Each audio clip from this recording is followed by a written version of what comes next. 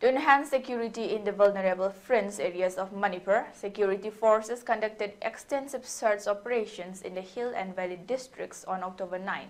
The operations yielded a significant haul of illegal weaponry and ammunition, underscoring ongoing concerns over arms proliferation in the region.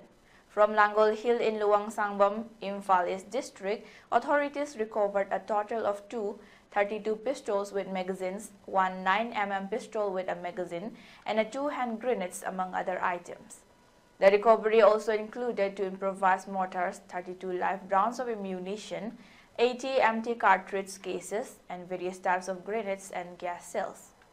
Simultaneously, in a separate operation at Champai Hill, the security forces uncovered a cage that included one M16 rifle without a magazine, two SLR rifles and several other firearms including country-made weapons. The Champai operation also yielded two carbines with five magazines and eight country-made 9mm pistols, further highlighting the severity of illegal arms in the area.